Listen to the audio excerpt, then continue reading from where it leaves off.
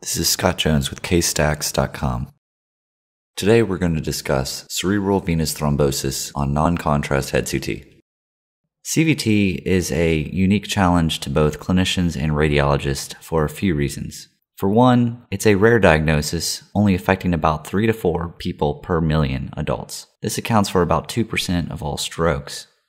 Another challenge is that CVT is highly variable in its clinical presentation, with symptoms ranging from headaches to seizures to focal neurologic defects or even impaired consciousness and coma.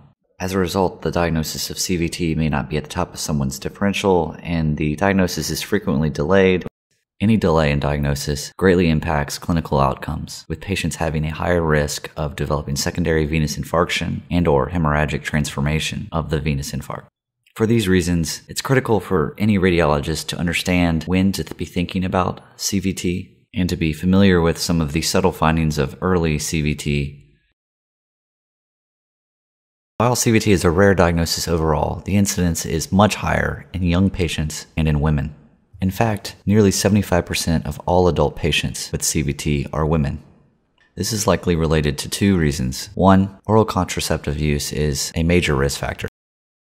Also, to a lesser degree, pregnancy is a risk factor because of increased platelet adhesion and increased coagulation factors during pregnancy. Also, think about CVT in anyone with an increased risk of clotting, including those with inherited prothrombotic conditions such as factor V Leiden. Anyone with infection or malignancy has an increased risk. If you're reading a case of sinusitis or mastoiditis or any infection, make sure to closely evaluate the surrounding dural sinuses and veins for thrombosis. This is particularly true in children. In fact, over 50% of cases of CVT in children are secondary to infection. Finally, this is pretty rare, but if you have a trauma patient with skull base fractures extending to or near the dural sinuses or the jugular bulb, look closely for associated dural sinus thrombosis. To make the diagnosis of CVT, it's important to understand basic dural sinus and venous anatomy, as well as the general location of venous drainage territories. The cerebral venous system is typically grouped into the dural sinuses, the superficial veins, and the deep veins. The major dural sinuses include the superior sagittal sinus, the straight sinus, the inferior sagittal sinus, the transverse sinuses, the cavernous sinus, the sigmoid sinuses. The majority of the superior cerebrum is drained by cortical superficial veins that drain into the superior sagittal sinus.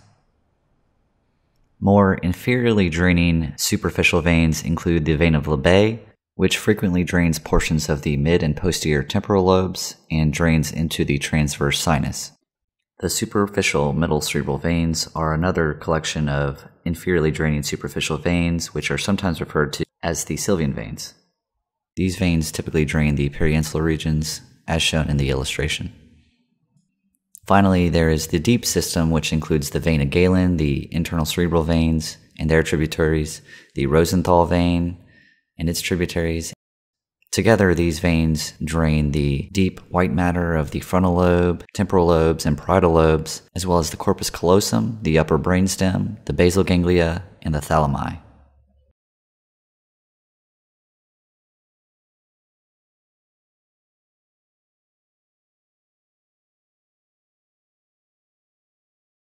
Contrast enhanced MR or CT are the preferred imaging studies for the detection of CVT.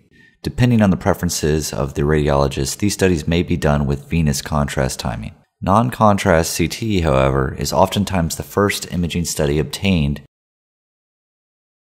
Unfortunately, non contrast CT is not sensitive. In fact, if the patient has a normal neuro exam, then an unenhanced CT will be normal more than 50% of the time in patients with CVT. Having said that, there are some findings on unenhanced CT which should make you think about CVT Direct signs include visualization of clot in a dural sinus or vein. Thrombus behaves a lot like parenchymal hemorrhage and therefore is hyperattenuating for about the first week or so after its formation. Just like blood, clot will become less hyperattenuating over time, making it more difficult to detect. This is a common reason for false negative unenhanced CT examinations. Here is an example of clot within the superior sagittal sinus. Notice as I scroll through that the sinus becomes focally hyperdense and expanded. This is thrombus. On the axial, this finding was more difficult to appreciate and only apparent on a few slices. Here, the black arrows demonstrate a thrombosed superior sagittal sinus and thrombosed draining cortical vein. Indirect signs can also help you make the diagnosis of central venous thrombosis. Indirect signs include edema or hemorrhage in an area which is atypical for arterial ischemia. In addition, there are some areas which are pretty classic for edema secondary to CVT, while not specific, edema or hemorrhage in these regions should make you at least consider CVT and look closely at the nearby sinuses. These regions include the high parasagittal gray and white matter, the mid and posterior temporal lobes, and the basal ganglia and thalami. Since veins are midline structures, edema or hemorrhage in CVT is often bilateral. The pathophysiology of edema and hemorrhage in CVT is pretty intuitive. Thrombosis of a dural sinus or vein initially results in increased capillary hydrostatic pressure and vasogenic edema. As venous flow backs up, arterial flow will stop or slow. If collateral flow is lacking, then this may lead to ischemia and cell death. Parenchymal hemorrhage is very common in CVT, seen in up to a third of the cases. The pathophysiology of hemorrhage is likely multifactorial. If there's continued arterial perfusion in areas of cell death, then there may be hemorrhage. In addition, elevation of venous pressures beyond the limits of the venous wall will likely also contribute to hemorrhage. Let's review a few cases. In this case, notice the high density in the left transverse sinus the linear high density extending across the left cerebellum represents a thrombosed draining vein. In addition, there's thrombosis of the straight sinus,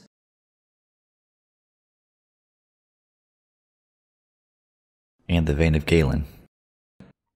The hypodensity in the surrounding left posterior temporal region is consistent with edema and possibly developing venous infarct. The edema in this case is characteristic for the location of edema secondary to transverse sinus or vein of Labbé thrombosis. Here's another case of characteristic edema and hemorrhage in the left temporal lobe in a patient with dural sinus thrombosis. When you see edema in the posterior temporal region, think about CVT. Here's an example of hemorrhagic transformation of a venous infarct in a patient with known sagittal sinus thrombosis. As we scroll down, notice the small, thrombosed, and hyperdense cortical veins as marked by the arrows. As we scroll down further, there is a large area of parenchymal hemorrhage in the posterior right frontal and parietal lobes. Notice the extensive vasogenic edema involving the surrounding white matter. This is a typical site of hemorrhagic transformation of a venous infarct from thrombosis of the superior sagittal sinus and associated cortical draining veins.